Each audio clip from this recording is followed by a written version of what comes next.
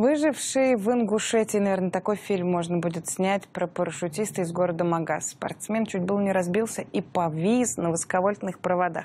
В общем, экшен смотрите.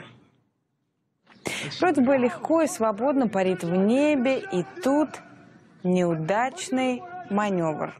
И он зависнет на проводах ЛЭП. И страшно, и волнительно. По всей видимости, наш герой новичок в парашютном спорте. Для таких неопытных спортсменов вот как раз этот момент. А для неопытных спортсменов местный аэроклуб заказал самолет, из него парашютисты прыгали на футбольное поле. Но вот у кого-то прыжок не удался. Хорошо еще, что парень не пострадал. Видео прислал наш гражданский репортер, кстати, через приложение Лайфкор. Спасибо ему за это большое.